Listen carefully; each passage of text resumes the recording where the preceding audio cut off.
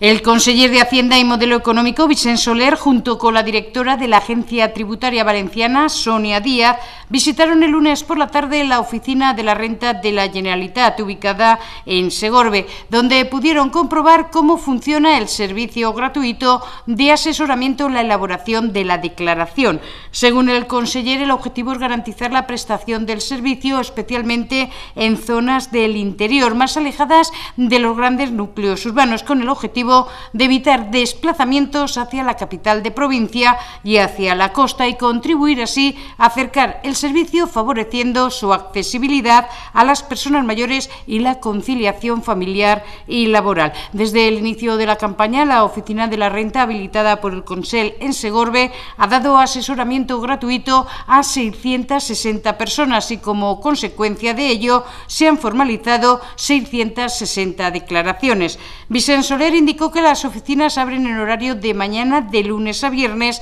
y por las tardes los lunes, martes y jueves a partir de las 4 de la tarde. La oficina de Segorbe está atendida por dos personas. Las contrataciones de técnicos tributarios llevadas a cabo por la Generalitat con motivo de la campaña de la renta han supuesto una oportunidad para muchos jóvenes de cara a su futura incorporación al mercado laboral, ya que más de la mitad de los profesionales contratados son recién licenciados sin apenas experiencia, que ahora podrán poner en valor esta colaboración con la Agencia Tributaria Valenciana, según explicó el conseller. El conseller de Hacienda agradeció a los alcaldes su interés por participar en esta iniciativa de la Generalitat, llevando al servicio a sus vecinos y vecinas y a las localidades más cercanas, y les animó a seguir sumando esfuerzos para hacer más fácil la vida de la ciudadanía. Vicente Soler recordó que los puntos de atención tributaria que gestiona a la Generalitat está abierto a todos los contribuyentes españoles sin importar su comunidad autónoma de origen.